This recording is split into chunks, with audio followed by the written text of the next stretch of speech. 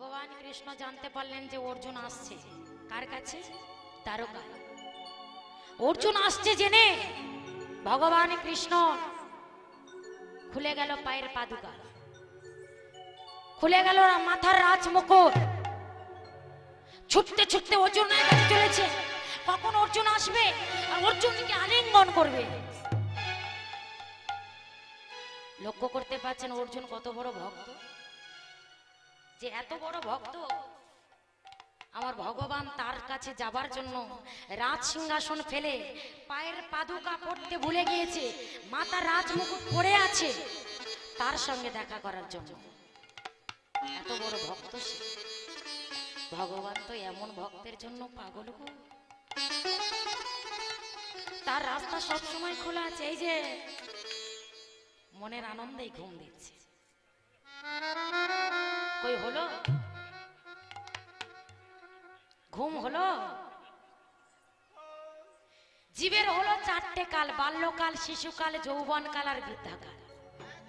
জীব কখন ভগবানকে ডাকবেন? হরিনাম বাসরে এসে যদি ঘুমায়, বৃদ্ধ হয়ে গেছে, চারে পা দিয়ে ফেলেছে, নাতি নাতনি হয়ে গেছে, হরি বাসরে এসে তাও ঘুমাবে। কেন ঘুমাচ্ছে? চারটে কালের মধ্যে জীব কখন ডাকেন ভগবানকে? বাল্যকালে সে তো খেলাধুলা করে। বাল্যকালের ছেলেরা ডাকবে, এ কি আপনারা পেয়েছেন? ধ্রুব মহারাজ, প্রহ্লাদ মহারাজ, মাতৃগর্ভে থেকে। প্রহ্লাদ মহারাজ, মাতৃগর্ভে কত বছর ছিল? পাঁচ হাজার বছর। কি বলি হারি রে, কি বাহাদুরি। পাঁচ হাজার বছর মাতৃগর্ভে ছিল। তাহলে সে কেমন মা?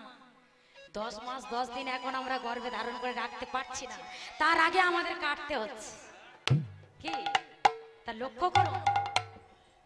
আজকে প্রহ্লাদ মহারাজ মাতৃগর্ভে তার মা কয়াধু পাঁচ হাজার বছর সন্তানকে ধরে আর এখনকার মায়েরা কি করছে? আচ্ছা বলুন তো মায়েরা, কথা বলতে বলতে কথা চলে এলো। আচ্ছা বলুন তো বাবারা, এই যে এখনকার মায়েরা এত হরিনাম করছে, এখন কীর্তনিয়ারও অভাব নেই। কীর্তনিয়ার ছেলেরাও কিন্তু সেই একই দশা, তাই না? তা আমরা এত কীর্তন করে বেড়াচ্ছি, এত কীর্তন শুনে বেড়াচ্ছি, তা আমাদের ছেলেরা এত চঞ্চল কেন? ভগবানকে ডাকছে না কেন? ভগবানের নাম করছে না কেন? সাধু কেন হচ্ছে না? সন্ন্যাস ধর্ম কেন নিচ্ছেন না? আর তাহলে প্রহ্লাদ মহারাজ তার বাবার নাম কি ছিল? তাহলে লক্ষ্য করুন, একটা অসুরের ছেলে যদি হরি ভজনকারী হতে পারে কৃষ্ণ ভক্ত হতে পারে, আর আমরা যে দিন হরি নাম করে করে বেড়াচ্ছি, তা আমাদের ছেলেরা কি হচ্ছে? হ্যাঁ? আমরা যে এত হরিনাম গাইছি, আমরা যে এত হরিনাম শুনছি, রাতের পর রাত, মাঘ, ফাল্গুন, চৈত্র, বৈশাখ, জ্যৈষ্ঠ রাতের পর রাত আমরা কীর্তন বাসরে কীর্তন করছি, কীর্তন শুনছি। তা আমাদের ছেলেরা কেন হরি ভজনকারী হচ্ছে না, কৃষ্ণ ভক্ত হচ্ছে না, গৌর ভক্ত হচ্ছে না? বাবা মাকে ভাত দিচ্ছেন না। কৃষ্ণ ভক্ত তো দূরের কথা, বাবা মাকেই ভাত দিচ্ছে। কেন হচ্ছে না? কেন কলির মানুষের সন্তানেরা এত চঞ্চল? একটাই কারণ। কারণ মাটি যদি ভালো হয়, তবে তো গাছটা ভালো হবে গো মা। মাটি ভালো ছিল কার? কয়াধুর। যদি বলেন কয়াধু কেমন করে তার কৃষ্ণ ভক্ত সন্তানকে জন্মগ্রহণ করালেন তার গর্ভে, একটু শুনুন। হিরণ্যকশু তিনি ছিলেন একটা বড় অসুর, আপনারা প্রত্যেকে জানেন। তপস্যা করতে গিয়েছিলেন কত বছর? পাঁচ হাজার বছর। ঠিক এমতো সময় হিরণ্যকশুর কানের কাছে একটা পাখি এসে বারে বারে ডিস্টার্ব করছিল। কি বলছিল? একটাই কথা বলছিল, কৃষ্ণ কৃষ্ণ কৃষ্ণ কৃষ্ণ। তাহলে অসুরের কানে কৃষ্ণ কথা বাজে। অসুর দেখবেন, অসুরের কিন্তু ভালো কথা কানে নেবেন। কৃষ্ণ কথা শুনলেই ও বেটাদের রাগ। তাই এইবার যখন বারে বারে কৃষ্ণ কৃষ্ণ কৃষ্ণ কৃষ্ণ বলছে আর কয়াদু ও তো জানেন আমার স্বামী গিয়েছে, তপস্যা করতে, এখন ফিরবে না। আর এদিকে হিরণ্যকশু কৃষ্ণ কৃষ্ণ বলিতে বলিতে পাখিটাকে তারা করতে করতে তারা করতে করতে করতে করতে একেবারে নিজের গৃহে ফিরে এসেছে। কয়াদুকে স্বামীকে দেখে অবাক হয়ে গেল। এ স্বামী? তুমি যে বললে অনেকদিন তপস্যা করবে, পাঁচ হাজার বছর আরে সময় না যেতে যেতে আবার ফিরে আসলে। বলে, আর বলো না কয়াধু তপস্যা করব কি? একটা পাখি কানের কাছে এত বিরক্ত করছে আমি তাই পাখিটাকে তাড়া করতে করতে আমি নিজেই ঘরে চলে এসেছি। হরি বল হরি বল। কয়াদু কিন্তু সতী রমন সঙ্গে সঙ্গে কথাটা বলার পর তিনি কিন্তু বুঝতে পারলেন যে আমার স্বামীর যদি খারাপ কথা শুনতে হয় তো একমাত্র কৃষ্ণ কথা ছাড়া আর কিছু তাই কয়াদু বুঝতে পারাতে কি করলেন? বুঝতে পারাতে বললেন আচ্ছা স্বামী, বলো না স্বামী, ওই পাখিটা কি বলছিল? হিরণ্যকশি বলছে, না না না না না, ও কথা তোমার কাছে বলা যাবে না। ও কথা তোমার কাছে বলা যাবে না। একবার অন্তত বলো। বলো না স্বামী কি বলছিল? আরে একবার তো বলো। ঠিক আছে, এত করে যখন বলছো তবে বলছি, শুন। আমি কিন্তু একবার বলব। শুনেছি এই নাম নাকি এই মুখে বললে মনে চলে যায়। কি মায়েরা, এ নাম যদি কেউ একবার মুখে বলে, বারে বারে বলতে ইচ্ছে করবে, মনের ভিতর ঢুকে যায়। মন থেকে বের বের করা বড় মুশকিল। এই নাম যদি একবারে কেউ বলে, সে ছাড়তে চাইলেও কিন্তু নাম তাকে ছাড়ে তাই বারে বারে বলছি, আমি বলব না আর কয়াদি বলছে, না বললে, না শুনে আমি তোমার কাছ থেকে যাব। তোমাকে বলতেই বলে শুনবে, বলে হ্যাঁ। তাহলে শোনো, আমি কিন্তু একবার বলব। বলে তাই বলো। বলে কৃষ্ণ। সামনে কৃষ্ণ, বামে কৃষ্ণ উদ্ধে কৃষ্ণ, অধরে কৃষ্ণ, ডাইনে কৃষ্ণ। চতুর্দিকে বলছি, কৃষ্ণ কৃষ্ণ কৃষ্ণ কৃষ্ণ কৃষ্ণ কৃষ্ণ কৃষ্ণ কৃষ্ণ কৃষ্ণ কৃষ্ণ। সারা রাত কৃষ্ণ কৃষ্ণ বলাচ্ছে। এই যে ও বাবারা মায়েরা ওই দেখুন, হা করে ঘুমাচ্ছে। আচ্ছা কোনো কারণবশত যদি গালের ভিতরে একটা ব্যাং ঢুকে যায়? আরে, বলা তো যায় না। যদি কোনো কারণে ঢুকে যায়, কি হবে ভাবতে পেরেছেন? ওই মা। আচ্ছা ঘুমাচ্ছেন ঘুমাচ্ছেন। হাওয়া করে ঘুমানোর কি দরকার আছে? গালটা বন্ধ করে ঘুমাবো। হরে কৃষ্ণ। তো আজকে কৃষ্ণ কৃষ্ণ কৃষ্ণ কৃষ্ণ কৃষ্ণ বলিতে বলিতে রক্তটাকে ফিল্টার করছে। সারা রাত স্বামীকে কৃষ্ণ বানাচ্ছে। কত ছলনার আশ্রয় নিয়ে। সেই জন্য বলছে, মাটি ভালো থাকা চাই। তাহলে ফসল দেখবেন ভালো হবে। তো আপনাদের এই বীরভূমের মাটিগুলো কিন্তু খুবই ভালো। হুগলি জেলায় এখানে মাটিগুলো সত্যি খুব ভালো। দেখছিলাম, গাছগুলো খুব সুন্দর হয়েছে। আলু গাছ, আপনাদের এদিকে আলু চাষ বেশি হয়। আজকে সারা রাত ধরে কৃষ্ণ কৃষ্ণ কৃষ্ণ কৃষ্ণ বলাতে বলাতে ঠিক প্রভাত হওয়ার এক ঘণ্টা আগে সেই ভোরবেলাতে, ভোরের বেলায় কয়াদু তার স্বামীর সঙ্গে মিলন করলেন। সেই দুই স্বামী স্ত্রীর মিলন হওয়াতে সেই মিলনে হয়েছিল প্রহ্লাদের জন্ম। সারা রাত কৃষ্ণ বলিয়ে রক্তটাকে ফিল্টার করলেন। তার মধ্যে যে অসুরের রক্ত ছিল, কৃষ্ণ নাম বলিয়ে সেই রক্তটাকে ফিল্টার করিয়ে আর ভোরের বেলাতে দুই স্বামী স্ত্রীর মিলন ঘটলো আর সেই মিলনে হয়ে গেল প্রহ্লাদের জন্ম। হিরণ্যকশে চলে গেল তপস্যা করতে। এদিকে কয়াদু কি করলেন? ঘরের মধ্যে আছে কয়াদুকে আবার হরণ করেছিল কে? ইন্দ্র। ইন্দ্র যখন হরণ করে নিয়ে চলে যাচ্ছে, হঠাৎ নারদের সঙ্গে দেখা। নারদের সঙ্গে যখনই দেখা, নারদে বললেন, আরে কি? তুমি আবার পরস্ত্রী হরণ কবে থেকে শিখলে গো আরে পরস্ত্রী হরণ আবার কবে থেকে শিখলে? বলে, রে তখন হিরণ্যকশু যখন তপস্যা করতে চলে গেছেন কয়েদিকে হরণ করে নিয়ে যাচ্ছেন নারদ ঋষি বাধা দেওয়ার সত্ত্বেও তখন কিন্তু ইন্দ্র বলেছিলে আপনি তো কোনো খবর রাখেন না। এই মেয়ের গর্ভে কি আছে জানো? এই মেয়ের স্বামী হলো হিরণ্যকশু। সে হলো একজন অসুর। আর তারই সন্তান এই মেয়ের গর্বে আছে। তাই এই রমণীর গর্ভে আছে। আর ছেলে আর বাবা যদি এমন অসুর জন্মায়, তা আমাদের স্বর্গের সব তো রাজত্ব করে নেবে আমরা যাব কোথায় হ্যাঁ? সব তো লণ্ডভণ্ড করে দেবে। নারদ ঋষি, তিনি ধ্যানে জানতে পারলেন যে না এর গর্ভে যে সন্তান আছে, সে হলো কৃষ্ণ ভক্ত, কৃষ্ণ হরিভজনকারী। একে তুমি মারতে কখনোই পারবে না। এর দ্বারা জগৎবাসীর কল্যাণ হবে। তাই প্রহ্লাদ নারদ ঋষির আশ্রমে তার মা ছিল পাঁচ হাজার বছর আর নারদ ঋষি এই বর দিয়েছিলেন কাকে? কয়াদুকে যে তোমার স্বামী ফিরে আসলে তবেই তোমার সন্তানের জন্ম হবে। কি বাহাদুরি দেখুন। তাহলে লক্ষ্য করুন, বিষয়টা কি দাঁড়াল? প্রহ্লাদ তার মায়ের গর্ভে থেকে একটা নারদ ঋষির আশ্রমে থেকে হরি কথা, কৃষ্ণ কথা, ভাগবত কথা। যে মা সন্তান গর্ভে থেকে হরি কথা, কৃষ্ণ কথা, ভাগবত কথা আস্বাদন করে, নারদ ঋষির আশ্রমে থেকে, তা সেই মায়ের গর্ভে থেকে কৃষ্ণ ভজন হবে না? কি আমাদের মতো কি ছাগল পাঁটা হবে? তা আমাদের আমাদের গর্ভে ছাগল পাঁটা হচ্ছে না? কি গো মায়ের, আপনারা বিচার করুন, আপনারা লক্ষ্য করুন। আপনারাই প্রমাণ দিন। এখন আমাদের প্রাকৃতিক জগতে মায়েরা গর্ভবতী হলে সাত মাসে একটা স্বাদ হয় হয় না? আর সেই স্বাদের দিন আমরা কি করি? সাধুগুরু বৈষ্ণবকে আমরা আমন্ত্রণ করি না। কাকে আমন্ত্রণ করি? যত আত্মীয় স্বজনকে আমন্ত্রণ করে নিয়ে আসি। কেন নিয়ে আসি? আত্মীয় স্বজনকে নিয়ে এসে শুধু তাই নয়, ছাগলের মাংস, মুরগির মাংস, মাছ, কাঁকড়া, চিংড়ি সবকিছু বেশ আয়োজন করে তাদেরকে খাওয়াচ্ছি। শুধু তাই নয় তাদেরকে খাওয়াচ্ছি না। যে মায়ের গর্ভে যে সন্তান আছে, যে মা গর্ভবতী, যে মা গর্ভ অবস্থায় যার পেটে সন্তান, সেই মাকেও খাইয়ে দিচ্ছি।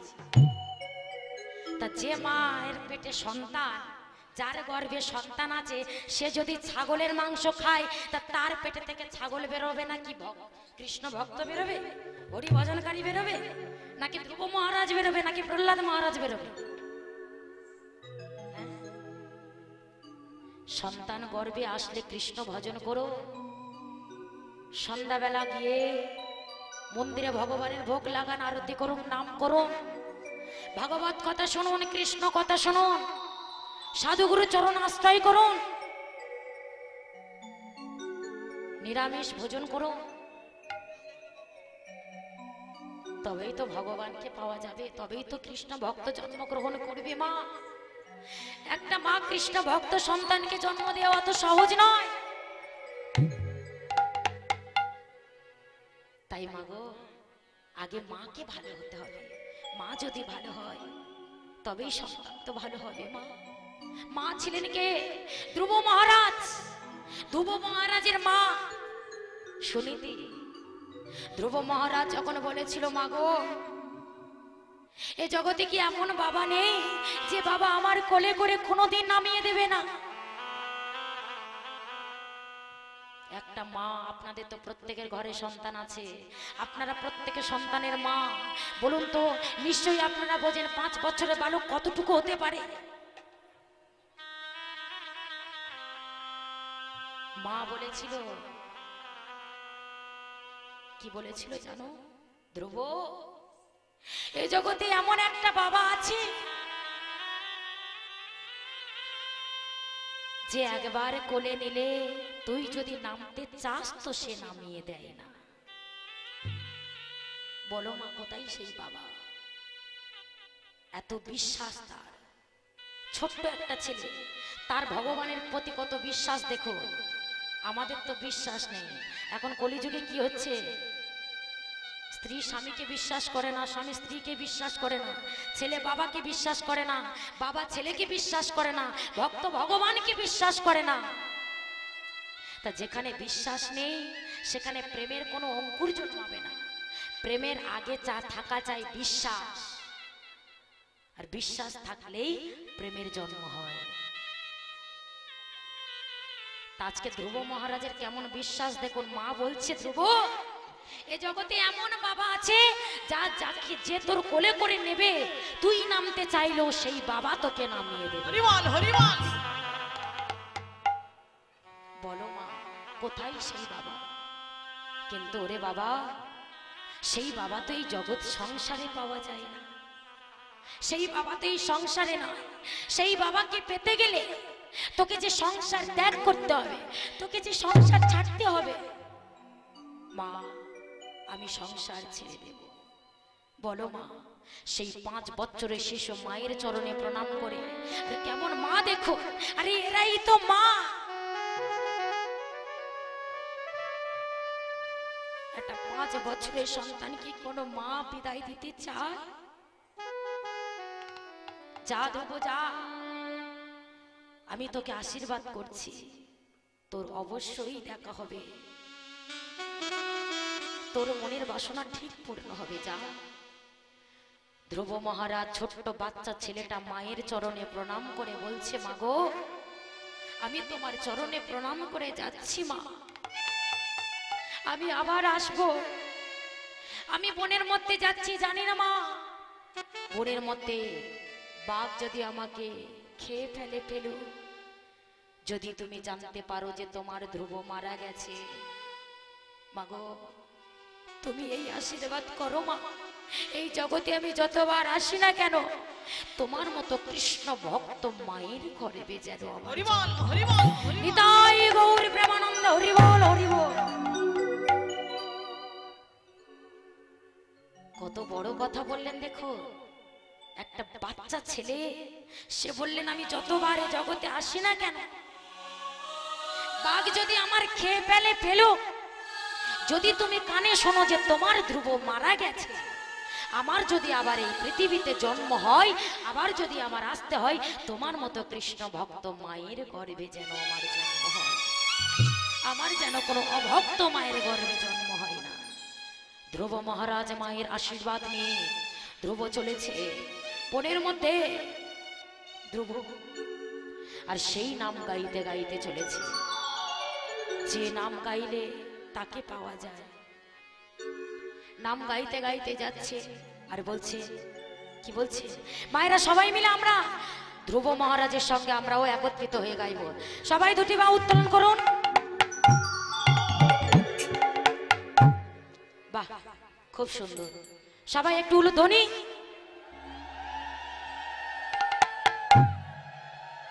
কৃষ্ণ ছাড়া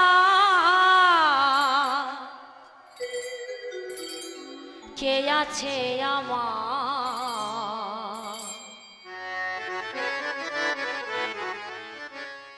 বিশ্ব চরাচর মাঝে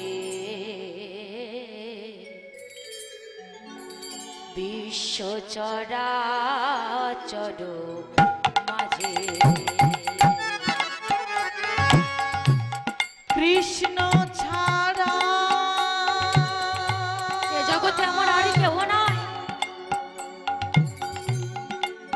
আছে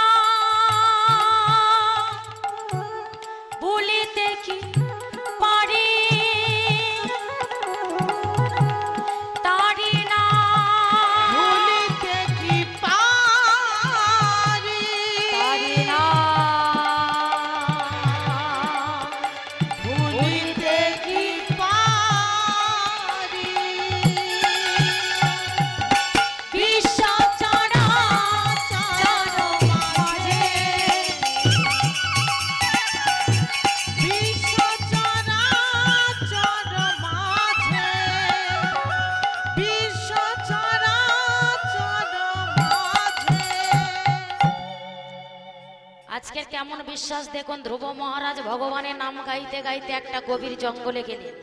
আর গভীর জঙ্গলে গিয়ে দেখছেন ধ্রুবর সম্মুখে একটা বাঘ এসেছে। কি গো মায়েরা বাবারা, আমাদের সামনে যদি এখন এই মুহূর্তে এখানে বাঘ আসে, আমরা কি করব? ভয়ে আমরা পালিয়ে যাব না? হরিনাম শোনার নিকুচি করেছে এখন পালাই। আগে তো নিজের প্রাণটা বাঁচায় হরিনাম বেঁচে থাকলে পরে শোন। তাই না? তা ধ্রুবর সম্মুখে যখনই একটা বাঘ এসেছে, ধ্রুব মহারাজ কি করলেন?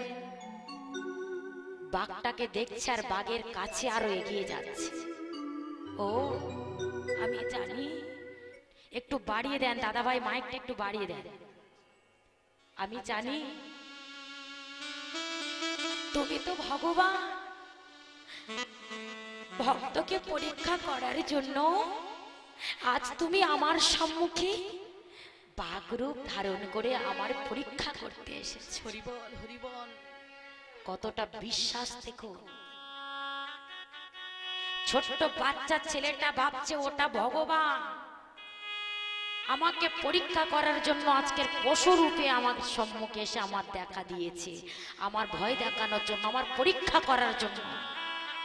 ধ্রুবর মনে এইটাই জাগলো। আর যখন ধ্রুব মহারাজ বাঘটার দিকে এগিয়ে যাচ্ছে, আর বাঘটা মনে মনে চিন্তা করছে, ও, তবে আজকে তুমি কি আমাকে দেখা দেবার জন্য আজকে শিশুরূপ ধারণ করে আমার কাছে এসেছ? যদি মানুষ হবে, সে তো আমার ভয়ে পালিয়ে যাবে। সে তো আমার কাছে এগিয়ে আসবে না। তাহলে নিশ্চয়ই ভগবান আজকের আমাকে পরীক্ষা করার জন্য আজকের শিশু রূপে দেখা দিয়েছি আমার সম্মুখে এসে।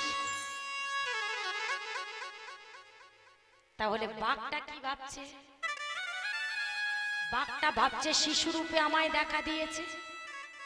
আর বাচ্চাটা ভাবছে, ধ্রুব ভাবছে, হয়তো আমাকে ভগবান পশু রূপে পরীক্ষা করার জন্য দেখা দিয়ে এটাই হলো বিশ্বাস। কতটা বিশ্বাস দেখো। তাই তো ভগবানকে পাবার জন্য আগে বিশ্বাস আনতে হবে।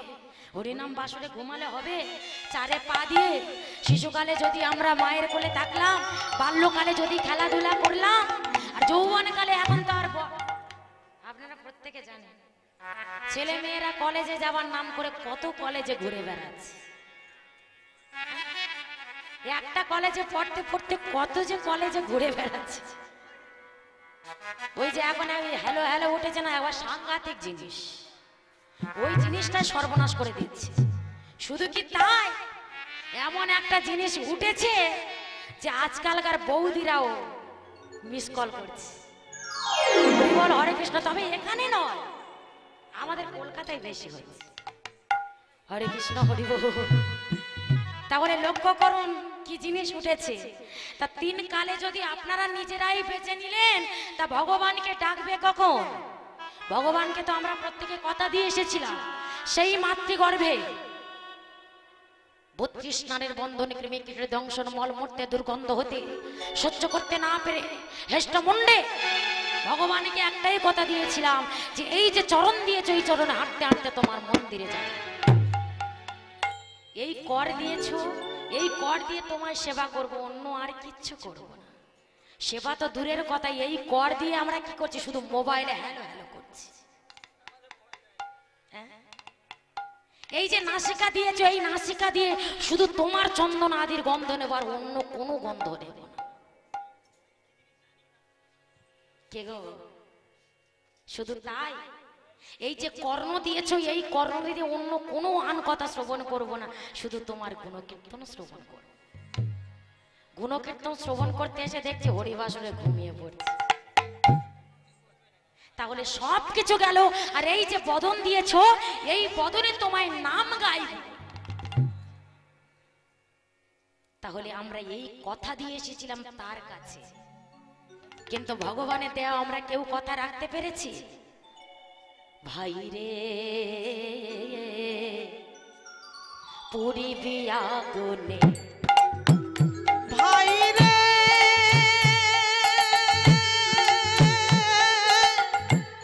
পুরিবি আগুনে।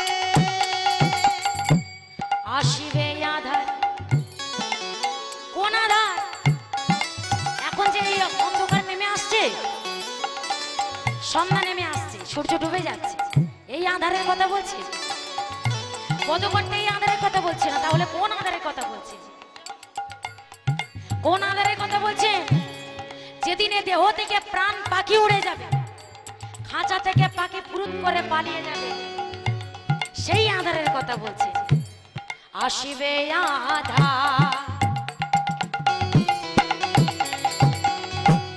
হেরবি অন্ধকার আসিবে এই আধার। হেরবি অন্ধকার। দুটি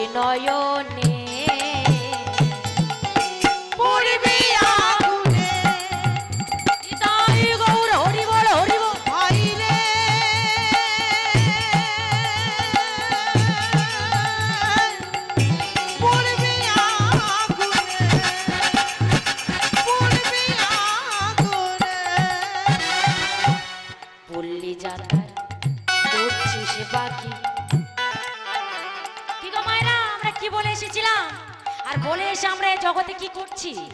সব কিছু ভুলে গেলাম। ফাঁকি দিয়ে করবি ফাঁকি। সে তাই গিয়ে বলিবি বাকি। মন রে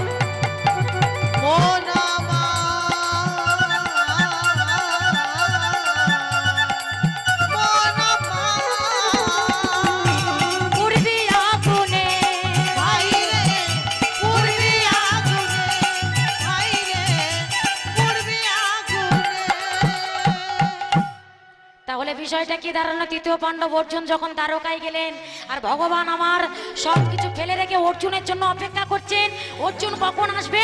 তাকে আলিঙ্গন করে জড়াই অর্জুনকে বুকের মধ্যে জড়াইয়ে ধরেছে।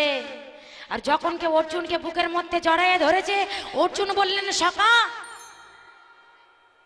দুর্যোধন বলেছে আমরা যদি ভাই ভাই সব ভাই যদি গ্রাম ছেড়ে রাজ্য ছেড়ে প্রাসাদ ছেড়ে না চলে যায় আমাদের সব ভাইকে মেরে ওই নদীর জলে বিসর্জন দেবে।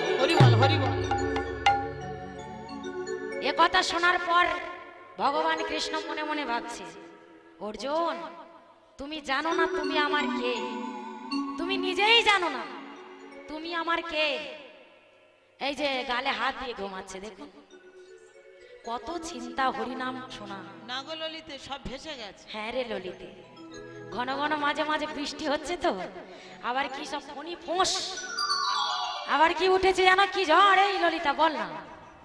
বুলবুল তো হরে কৃষ্ণ হরি বল সেই চিন্তায় মনে হচ্ছে বদনে হাত চাপা দিয়ে আছে। তো আজকে তৃতীয় পাণ্ডব অর্জুন কি করলেন? বলছে অর্জুন তুমি নিজেই জানো না তুমি আমার কে? আঠারো দিন যে কুরুক্ষেত্রের যুদ্ধ হয়েছিল ভগবান কৃষ্ণের মাথায় ছাতা নেই, ছাতা কার মাথায় ছিল? অর্জুনের মাথায়। আর সেই অর্জুনকে কি ভগবান মারতে দিতে পারেন কৃষ্ণ বলরামের বোন হলো সুভদ্রা, আর সুভদ্রার সঙ্গে কার বিয়ে? তৃতীয় পাণ্ডব অর্জুনের বিয়ে। আর সেই অর্জুনকে কি মারতে দিতে পারে আমার ভগবান কৃষ্ণ? তুমি নিজেই জানো না তুমি কে। আর যাই হোক না কেন, আমি কথা দিলাম। তোমাদের যদি ভাইয়ে ভাইয়ে যুদ্ধ হয়, আমি তোমাদের কাছে গিয়ে দাঁড়াবো দাঁড়াবো দাঁড়াবো। এমতো সময় তৃতীয় পাণ্ডব অর্জুনের যখনই কথা দিলেন দুর্যোধন এসে হাজির হয়েছে। দুর্যোধন আসছেন মায়েদের একটু ঘুম পাচ্ছে, একটু উলুধ্বনি করুন তো মায়েরা দেখি। দিনের বেলা ঘুম এসে যায়। সবাই! হাত তুলুন হাত তুলুন! এদিকে রাস্তার উপরে যারা আছেন, যেসব মায়েরা, সবাই মিলে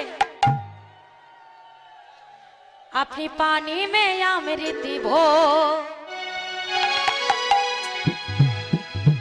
হে রসনা হাত তুলুন উলু ধ্বনি রাধে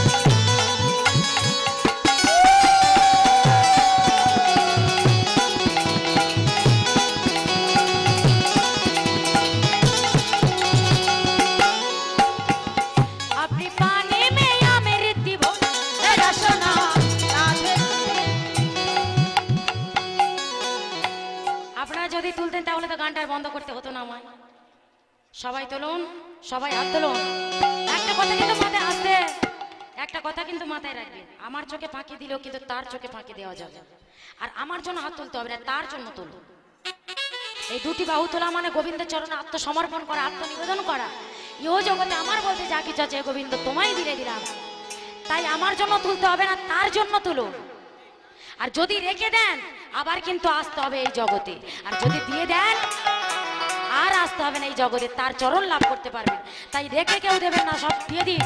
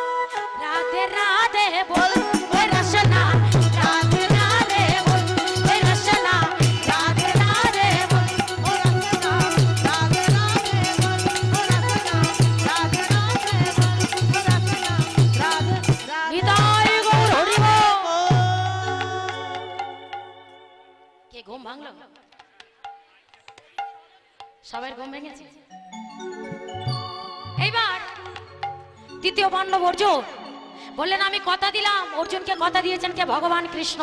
তোমাদের যদি ভাইয়ে ভাইয়ে যুদ্ধ হয়, আমি তোমার কাছে গিয়ে দাঁড়াবো দাঁড়াবো দাঁড়াবো। এমতো সময় দুর্যোধন দুর্যোধন হলো কৃষ্ণের বেই মশা কৃষ্ণের মেয়ের সঙ্গে বিয়ে হয়েছিল কার? দুর্যোধনের ছেলে সেই সম্পর্কে বেই মশাই তা বেই মশাই হয়েছে। বলে, বলা নেই, কওয়া নেই, কি কারণে যে আমার মেয়েটা ওর ছেলের সঙ্গে বিয়ে দিয়েছিলাম?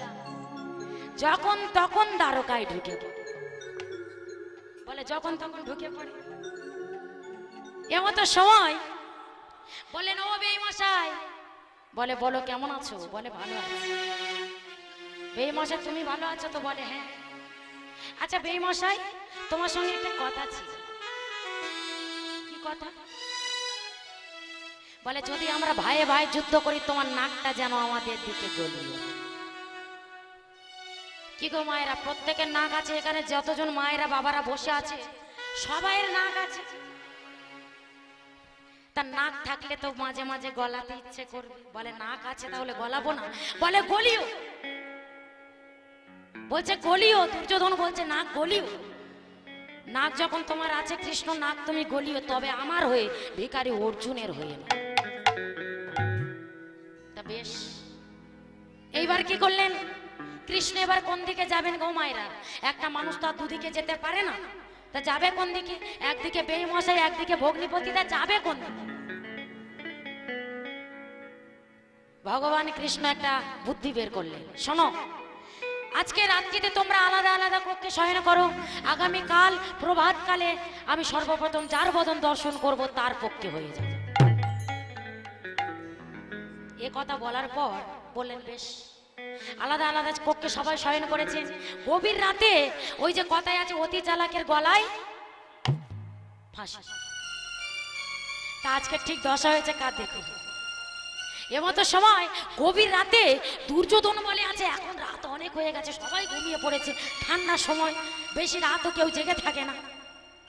তা সবাই যখন ঘুমিয়ে পড়েছে, এই সুযোগে যদি আমি কৃষ্ণের ঘরে গিয়ে থাকি ও বেটা সকাল হবে, আমার মুখ দর্শন করবে। আর ও বেটা যদি আমার মুখ একবার থেকে ফেলে, ও আমার পক্ষে হয়ে যাবে। আর ও যদি আমার হয়ে যায়, এই কুরুক্ষেত্রের মাঠে আমার আর কেউ হারাতে পারবে না। তো বাবা এমতো সময় তিনি কি করলেন? আস্তে আস্তে করে ভগবান দরজাটা খোলা আছে। ভগবানের ঘরে গিয়ে দেখলেন সিংহাসনটা বেশ বড়। আর পালঙ্কটা মানে বিছানাটাও বড়। মনে মনে চিন্তা করছে, না না শুনেছি এই কৃষ্ণ ছোট্টবেলা বৃন্দাবনের গোপিনীদের বসন নিয়ে টানাটানি করেছে। তা যদি ঘুমের ঘরে আমার বসনটা টেনে ফেলে, একটা মান সম্মানের বিষয় কি দরকার আছে? কৃষ্ণের মাতার কাছে তো একটা সিংহাসন আছে, ওখানেই শয়ন করলে ঝামেলা মিটে যাবে, আর কোনো রিক্স হবে না। তা লক্ষ্য করুন, কৃষ্ণের মাতার কাছে যে সিংহাসনটা আছে, সিংহাসনের উপর শয়ন করে এমন করে পা দোলাচ্ছেন, যত পায়ের ধুলো গিয়ে কৃষ্ণের মস্তকে পড়ছে। ভাবতে পারছেন কতটা কাণ্ডজ্ঞানহীন ব্যক্তি হ্যাঁ? যে ভগবান হতে আমরা এই ধরাধামে এলাম, আর আজকে সেই ভগবানের মাথায় পায়ের ধুলো পড়ছে। ভগবান কি কিছু করলে করতে পারতেন না? তিনি কিছুই করেননি। এটাই তো তার পরীক্ষা। এবার আপনাদের মতো হরিভক্তিটা কি যিনি হরিভক্ত, কাকে বলে? তৃতীয় পাণ্ডব অর্জুন যখন ভাবলেন কোন ভক্ত তো ভগবানের কাছে টাকা পয়সার কথা বলে না, ধন সম্পত্তির কথা বলে না, জমি জায়গার কথা বলে না, বিষয় সম্পত্তির কথা বলে না। যারা ভক্ত হয়তো তারা তো শুধু ভগবানের চরণ চায়। আমি কেমন ভক্ত?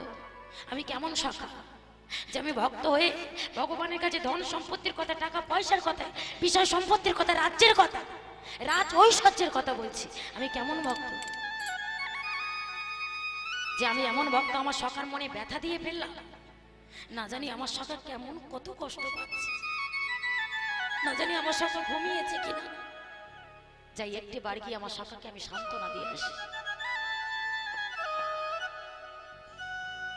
তৃতীয় পাণ্ডব অর্জুন আলাদা ঘরে আস্তে আস্তে করে পা টিপে এসে দেখলে, ভগবান ঘুমাচ্ছে না, তার হাতটা তার মাথার ওপরে। মাথায় হাত কখন যাই বলুন তো, মায়েরা? যখন মানুষের চিন্তা করে খুব, তখনই তার হাতটা মাথায় চলে যায়। আজকে লক্ষ্য করুন, যারা প্রকৃত ভগবানের ভক্ত, তারা সবসময় ভগবানের চরণ চাইবে। তৃতীয় পাণ্ডব অর্জুন তো পারলে ভগবানের মাথার কাছে গিয়ে বসতে পারতেন বা ভগবানের পাশে বসতে পারতেন কিন্তু না, অর্জুন এত বড় ভক্ত, ভগবানের চরণ তুলে গিয়ে বসেছে। তারাই চালাক ভক্ত, তারাই জানে, তারাই আসল ভক্ত। যে ভগবানের চরণ না ধরলে যে বদনে পৌঁছানো যাবে না। যেমন দেখবে, গাছের গোড়ায় যদি জল দেওয়া হয়, তাহলে শাখা পোশাকায় জল দিতে লাগে না। কোনো মানুষ তো এক লাফ দিয়ে গাছের মাথায় উঠতে পারে না। প্রথম থেকে গাছের নিচে থেকে তারপরে উপরে উঠতে হয়। ঠিক তদ্রুপ তারাই চালাক ভক্ত। তারা জানে, যদি ভগবানের চরণ পাই তাহলে বদন অবশ্যই পাবো। তাই তো দ্বিতীয় পাণ্ডব অর্জুন বদন ছেড়ে দিয়ে চরণের কাছে এসে বসলেন। চরণের কাছে এত কান্না কাঁদছে, কাঁদতে কাঁদতে সকাল হয়ে গেল। আর প্রভাত আওয়াজ যাওয়ার সঙ্গে সঙ্গে ভগবান কৃষ্ণ চিৎকার করে বলে উঠলেন, অর্জুন!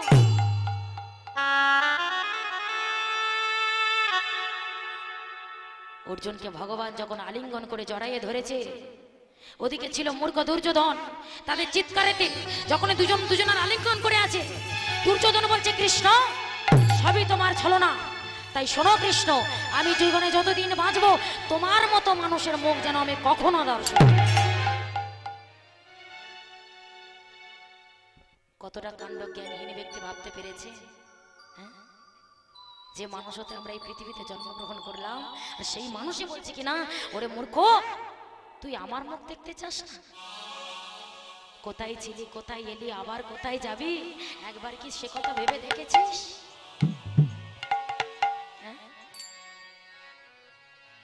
এ জগতের সংসারে কে কার? কে তোমার স্ত্রী, কে তোমার পুত্র, কে তোমার সংসার? কেহ কারণ নয়। আমরা যে অভিনয় করতে এসেছি, অভিনয় যখন আমাদের শেষ হয়ে যাবে, আমরা যে যেখান থেকে এসেছি, সে সেখানেই ফিরে যাব। কিছুই আমাদের সঙ্গে যাবে না। যতই আমার আমার করি না কেন, আমার ছেলে, আমার পুত্র, আমার সংসার সব কিছু আমার। এ জগৎ সংসারে কেউ কারণ নয়। যার জন্য তুমি এত কিছু করছ, যে ছেলের জন্য একতলা, দুতলা, তিনতলা পাকা বাড়ি বাঁধছো কেন? ছেলেকে ভালো স্কুলে পড়াচ্ছ, ছেলে চাকরি পেয়ে যাচ্ছে, অবশেষে বাবার স্থান কোথায় হচ্ছে, মায়ের স্থান কোথায় হচ্ছে, বৃদ্ধাশ্রম। যে ছেলেকে বুকে স্তনদুগ্ধ পান করিয়ে, ভালো স্কুলে পড়াশোনা করিয়ে এত কিছু করলেন ছেলের জন্য শ্বেত পাথরের ঘর বসালেন, ঘর বাঁধলেন। আর সেই ছেলে অবশেষে খাটতে খাটতে তুমি বৃদ্ধ হয়ে পড়লে। অবশেষে সেই ছেলে তোমাকে নিয়ে যাচ্ছে কোথায়? রাধে তাই বললেন যার জন্য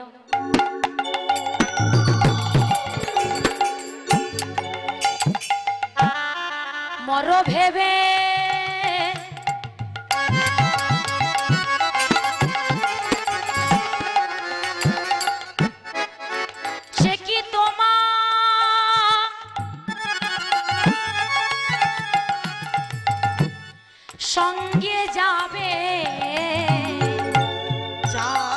জন্য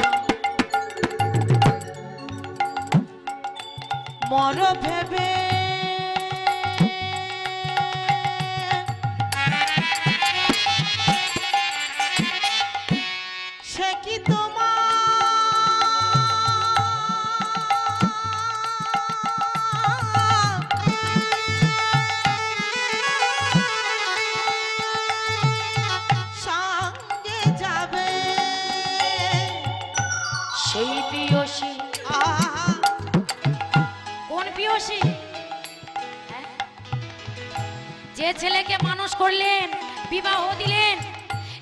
মাস পর কিংবা এক বছর পর ছেলে যখন আলাদা হয়ে গেল, কার জন্য আলাদা হলো? স্ত্রীর জন্য। যদি এখন থেকে যে মাইনেটা পাবে, সেটা যদি মায়ের হাতে তুলে দাও, তাহলে আমি বাপের বাড়ি চলে যাব। এখন ভাবো, মায়ের হাতে দেবে না, আমার হাতে দেবে বইয়ের হাতে দেবে না, মায়ের হাতে দেবে?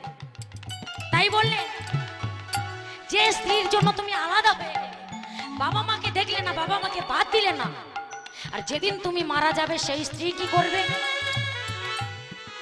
গোবরের জল নিয়ে ছিটিয়ে দিবেন কেন? গোবরের জলটা কিন্তু স্ত্রীর হাতে দেয়া হয়, মার হাতে কেন দেয়া হয় না? যে মা সন্তানকে দশ মাস, দশ দিন জন্ম দিলেন, স্তনদুগ্ধ পান করালেন, তাহলে সেই মায়ের হাতে কেন দিলেন না? স্ত্রীর হাতে কেন দিলেন? সে দুদিনের জন্য আসলেন। এটাই তো কারণ। কারণ গোবরের জলটা ছিটিয়ে দিয়ে বলা হয় যে এতদিন তোমার সঙ্গে যে সম্পর্ক আমার ছিল, আজ থেকে সেই সম্পর্ক সব ধুয়ে পুজে একাকার হয়ে গেল। সব সম্পর্ক শেষ হয়ে গেল। কিন্তু মা, যদি কোনো মা জানতে পারে তার সন্তানের মৃতদেহটা গলে পচে, মাংস ঝরে পড়ে যাচ্ছে রক্ত পুঁজে বেরোচ্ছে, দুর্গন্ধ বেরোচ্ছে, যদি জানতে পারে যে সেই মা ওটা তারই সন্তান, ছুটে গিয়ে সেই গলা পচাতে ওটাকে মামা বুকের মধ্যে জড়াইয়ে ধরবে। এটাই তো মা। সেই জন্য মার স্ত্রীর মধ্যে দুজনার মধ্যে পার্থক্য আছে।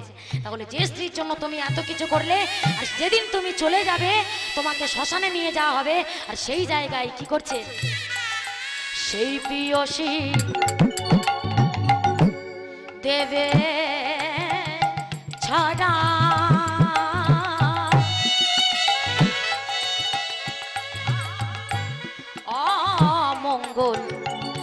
হবে বলে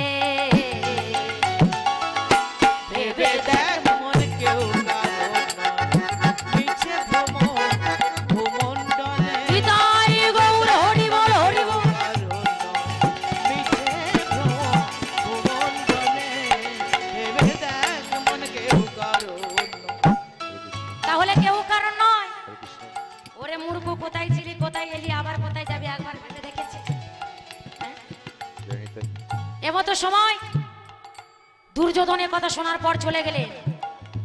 আর অর্জুন কি বললেন? সকা তুমি তো কথা দিয়েছ যে তুমি আমার হয়ে যাবে। সখা, তুমি আমার সঙ্গে চলো।